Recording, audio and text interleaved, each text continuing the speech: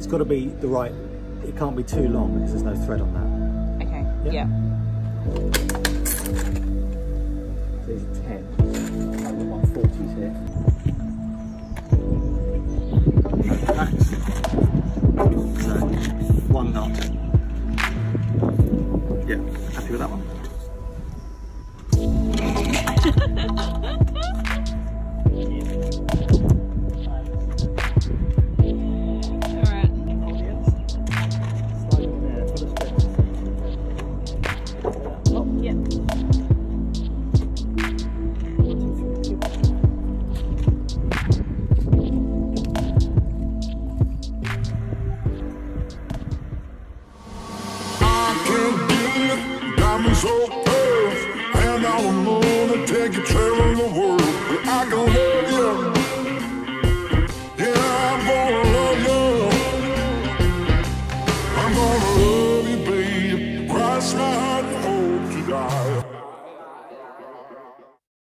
Now that we had arrived in France, it was time to turn our attention to the canals. Our intention was always to take Ruby Rose to the Atlantic, and we could do this either the long way round by going west through Gibraltar, then up against the prevailing winds around the coast of Spain, then Portugal, or we could take the short way, which is through the Canal du Midi and the Canal de Garonne. This is jointly known as the Canal des Deux Mers. With canal depths of only around 1 to 1.5 metres, these canals are only really possible for shallow draft vessels. This is not an issue for us. We actually had our southerly built because of its swing keel. We draw less than 80 centimetres with the keel fully up. The other consideration we had to make is to air draft. The canals were built for barges, not sailing boats, and so to fit under these bridges, we knew we'd have to put the mast on deck or have her transported. Our original plan had been to transport by road. However, there was a last minute change of dates and the transport company they messed us about a little bit and so facing either waiting 3 weeks on the Atlantic coast of France or transporting the mast on deck, we decided to transport our own mast. We therefore needed to build a frame that was able to hold a 200 kilogram, 16 meter long aluminium mast without damaging it or losing it over the side. We had never built anything like this before, so the start point was always the internet. We took some ideas from other sailing boats that have transited the canal. We talked to Paul and Cheryl of Distant Shores about their frame because they did this in a southerly about 10 years ago. From reading the literature and looking at all the information available on the internet, we knew that the lowest bridge had a clearance of 3.3 metres, and our air draft from waterline to the bimini was just shy of 3 metres. With only 30 centimetres to play with, we decided that the mast needed to sit underneath the bimini rather than going on top, and so this became the starting point for our calculations. We had to measure from the waterline to the top of what was going to be the T piece of our A frame. Used the skill saw before? No. Right, now come here, I'll show you how to do this.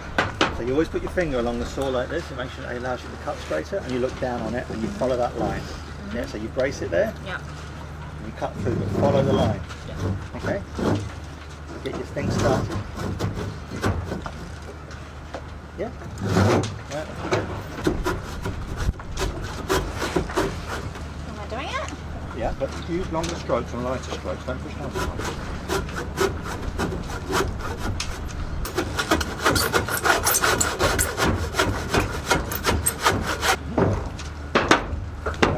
Right, measure this, make sure we got it right.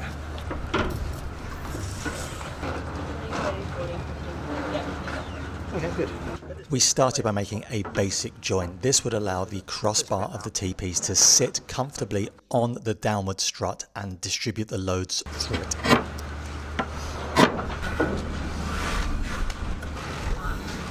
Where's the pencil? Oh, my hair. Not in your hair. This is my hair. So one then. Once we had measured twice and cut once, we managed to get the T-piece completely square and at the correct height to the waterline. We then started the long and lengthy process of getting the angles correct for the supporting struts. These angles needed to be absolutely precise to make sure that the clearance at the top of the frame was below 3 meters. These side pieces of the A-frame also had to be constructed so that the angles did not obstruct or foul any part of the boat.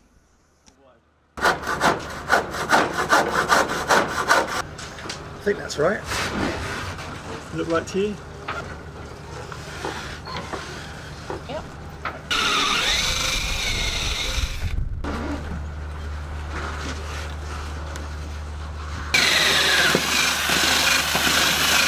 In the end, to allow for extra robustness, but also to be able to deal with a slight discrepancy in the width of the boat, we decided to make the sides of the A frame double thickness. This had two functions. The first was to actually provide extra strength, but the second meant that the two sides could be moved very slightly. This allowed us to match the foot of the A-frame perfectly with the contours of the deck. Once the A-frame had been constructed, we loosely bolted it together with 10mm coach bolts and oversized washers.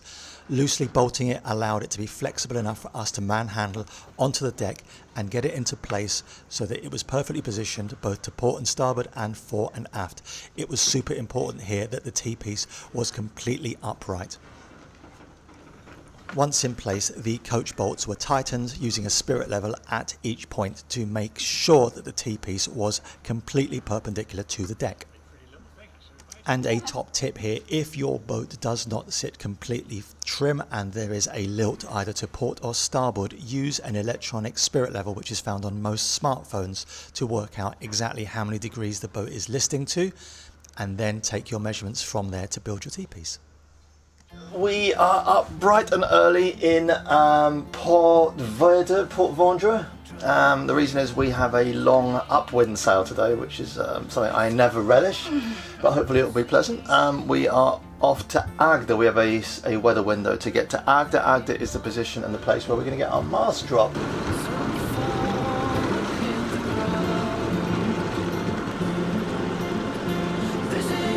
Okay, that's a pretty little town. Yeah, right.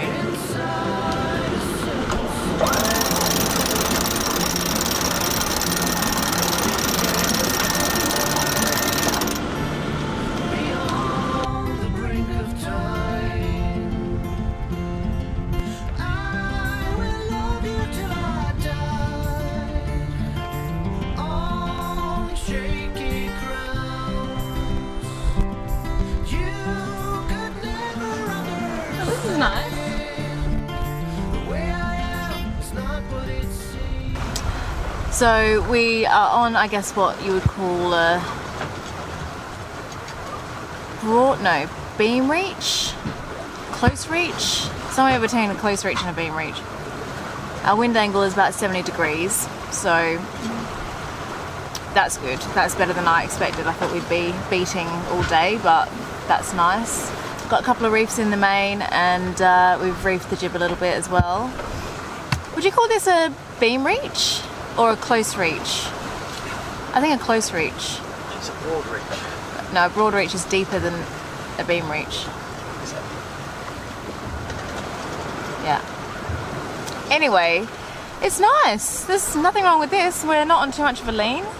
There's no swell, uh, which is lovely. And uh, I have to say, after years of sailing in the Atlantic with that constant Atlantic swell, not that that's a problem really, but to be on a reach with no swell is really nice. We'll be shaking these reefs out in a bit. I know. We're only doing.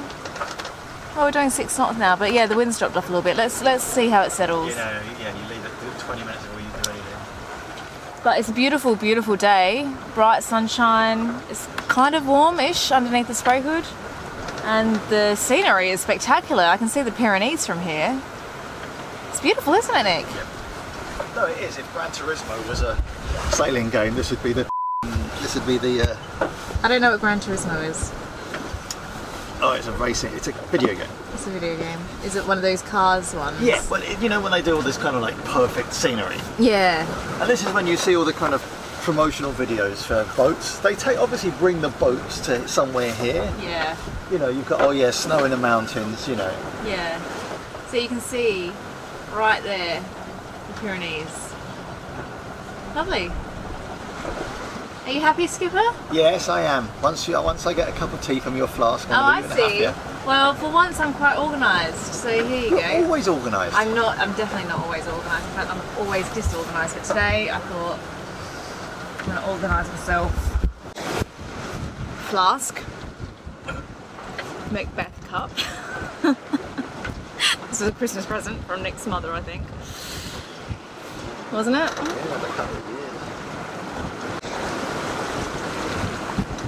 Nice cup of tea. Get that into you. Nice cup of tea.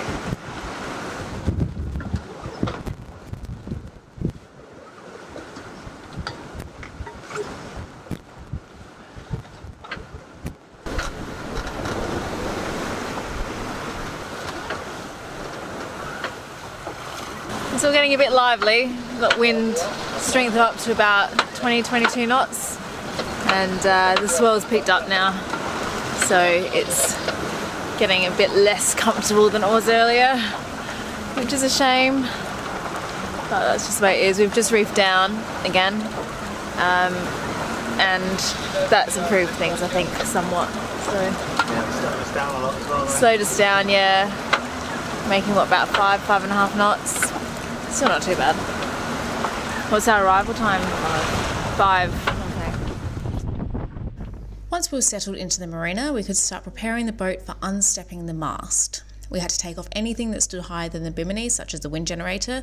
We also had to remove the sails and store them in the forecabin. Usually, we flake the sails on the pontoon, but today we tried a different method of flaking them on the deck. The idea is to lower the mainsail so it falls to one side of the boom and then to flake it on the coach roof on the opposite side, using the boom to take the weight of the sail. This worked so well that I wish we'd tried this method out years ago. So today's job is to get the boom down and we are also going to build the other part of our A-frame. So we've built the section that will go um, across the transom and now we need to build the the forward one. Nick is in full work mode, looking very focused. And I've been summoned, so let us go and get this boom off. Now, once the sails had been removed from the boat, flaked and stowed below, removing the boom was simply a matter of attaching the halyard and the topping lift to each end and then slowly lowering it onto deck onto wooden blocks so that the aluminium would not mark or scuff the fiberglass. The construction of the frame for the fore of the boat was very similar to the construction for the aft. We now knew the template. The important thing here was to make sure that both the fore and the aft were exactly at the same height above the waterline. This would ensure that when the mast was placed on deck, the back or the front of the mast would not sit higher than the three metres we had allocated for clearance under those bridges. There was, however, a considerable amount of work to do before we managed to get the mast unstepped and put onto the deck. We also had to consider labelling carefully the wiring for all the equipment at the masthead, including the radar, the NMEA data, and the lights. Another job on our list was the preparation of the shrouds. Firstly, the position and the tension on the shrouds and the turnbuckles was marked using a Sharpie marker, then insulating tape on top of that. We then straightened the split pins so they were easy to remove at the day and on the day of unstepping. We also lubricated the turnbuckles with a silicon lubricant to make sure that they did not seize and they were easy to turn, making unstepping faster and easier. We also made sure that every component was placed into sealable sandwich bags and labelled and placed in a very secure location so that when we came to restep the mast, we had all the components, knew where everything was and where everything would fit. Once we had the A-frame in place, it was really important to brace it against fore and aft movement and any lateral movement. We did this in a few ways. Firstly, we lashed the feet of the A-frame to the deck at strong points. This meant that the base could not move. We then used a 16mm line from the aft part of the boat to brace it and make sure that it was upright. We then used cargo straps to tension forward.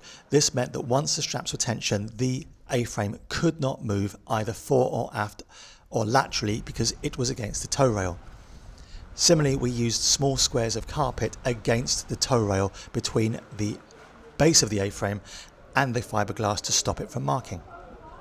We then had to mouse the halyards and anything that ran up to the deck from the mast. These were then labelled and tied up and then I took a little rest.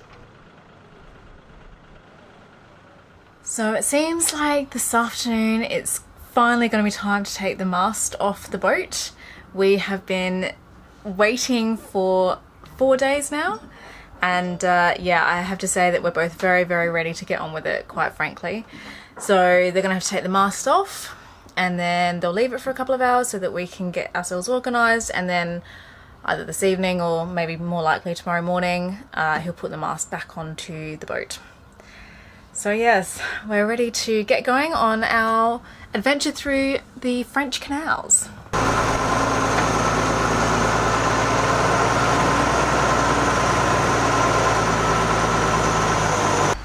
The gentleman who ran the Chantier Allemande yard was called Henri, and he was very experienced. We recommend him wholeheartedly. Once he got the crane into position, he climbed the mast, without a harness, mind you, and attached the mast to the hook of the crane with a length of rope. This done, he took up the slack, and once the crane was supporting the weight of the mast, Nick and the others set about disconnecting the standing rigging.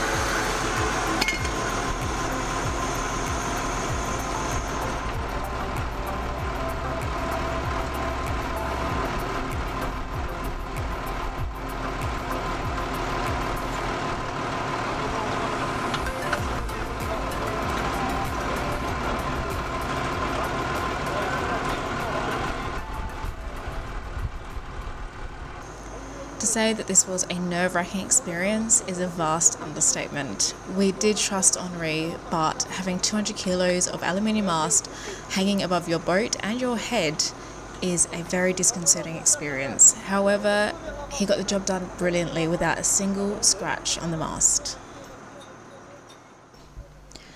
Now that the mast was safely unstepped, we had to prepare it to be lowered into the frame in the morning. This meant disconnecting the spreaders, removing all items such as the radar, the masthead light, the wind vane, the turnbuckles from the shrouds, etc., and then securing the shrouds and the stays to the mast.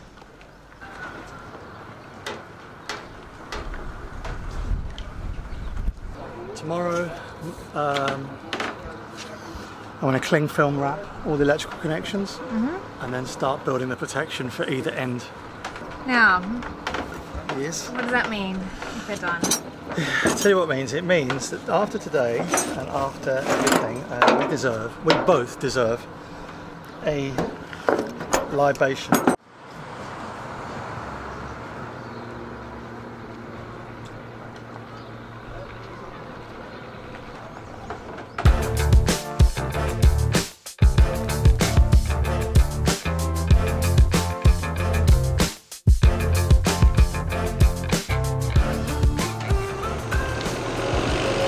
I'm feeling a bit nervous. Nick seems relatively sanguine, which is reassuring. That was fun and stressful, and I'm just glad it's over, to be honest. I have no idea how to do it, my love. We're on the Canal du Midi! I am supremely happy. I know, life is so good right now.